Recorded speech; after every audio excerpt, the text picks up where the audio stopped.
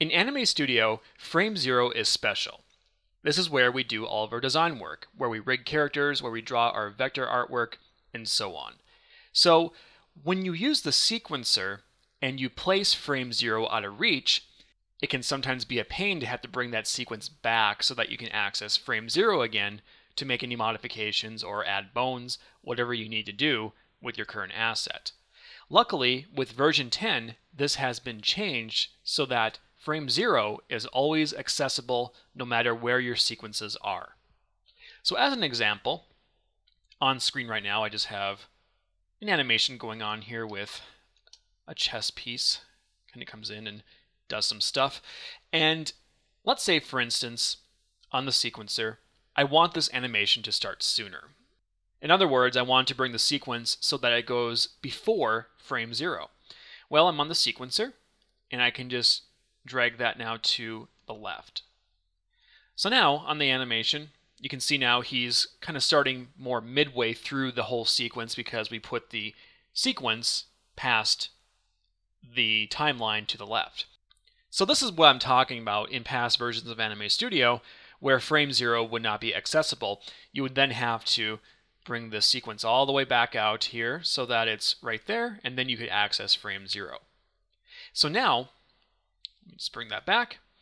If we click on frame zero, you can see that frame zero is now accessible no matter where your sequence is.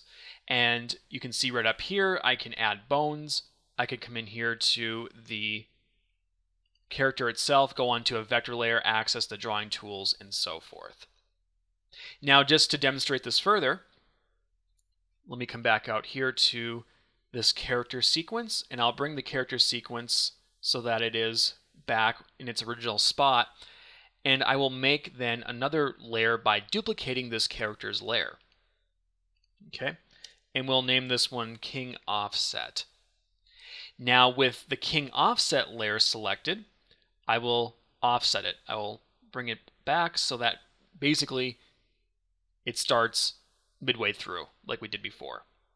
So now, when we play this, you can see we have two different things going on because these layers are sequenced differently even though they're the same layers. However, if I go to frame 0 on the offset one, you can see frame 0 is definitely accessible. If I go to frame 0 on the one that's not offset, it's the same thing. This will work for all layers. Universally, any layer will go to frame 0 to its frame 0 once you click frame zero. And it's as simple as that. So it makes things a lot easier to work with, especially if you happen to be moving things around on your sequencer. If you'd like more information on Anime Studio, please visit the official Anime Studio website at anime.smithmicro.com. Thanks for watching, guys, and we'll see you next time.